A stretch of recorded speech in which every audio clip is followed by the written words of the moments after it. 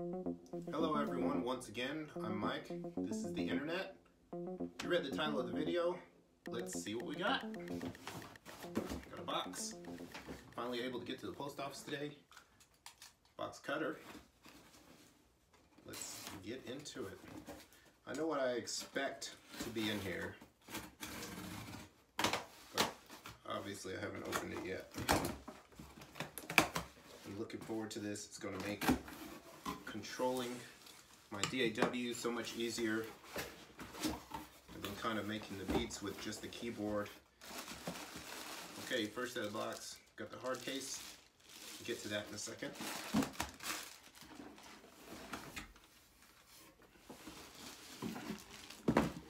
Got the four port USB hub. It's funny getting into this stuff. You pretty quickly run out of places to plug stuff in. I already used all the plugs on my Mac and I'm like using externals to charge so I needed some more uh, USB ports. So I got them. That'll come in handy. That just was a throw in. The real thing we've been waiting for is this. Funny, it came in this like plain packaging. Just gonna open it up.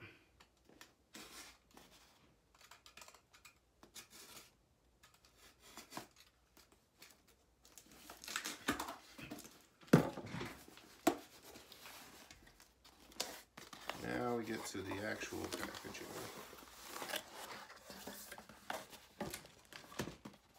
There it is. The Novation Launchpad Mini MK2.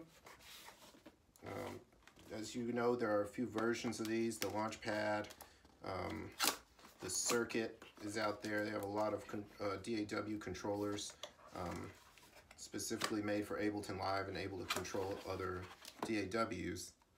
Uh, but I chose this one. Based on the size, I actually like the smaller size.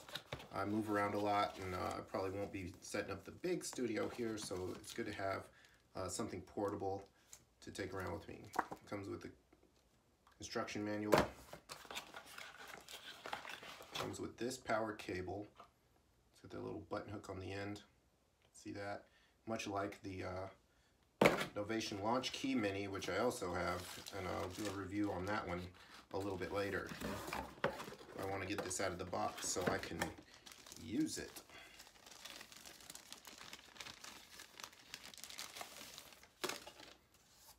You can see there's the size of it. Probably don't, I could put a Coke can here for, for scale. So it's only about that big. That's the thickness of it. Pretty small.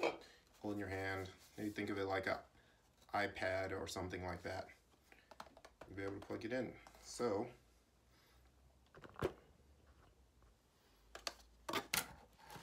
Launchkey Mini,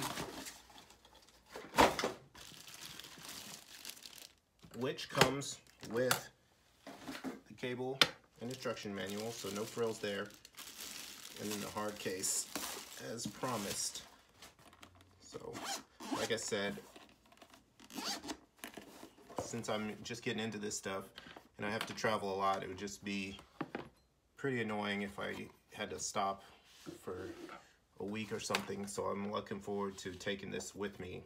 This came with this thing. I'm not sure what I'll use that for, but it came with it.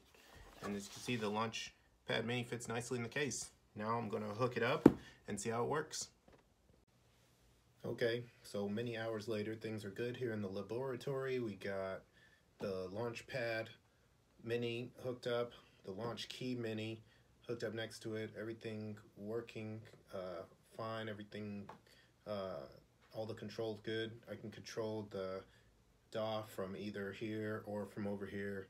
Uh, this just gives me a lot more. I could see the whole, um, all the, all the, uh, what are they called, scenes all at once. So it just a lot more flexibility than I had from from the Launchkey Mini. And now I can use this to drum, or I can even use this over here to uh, finger drum with, and then I still have the key keyboard option here.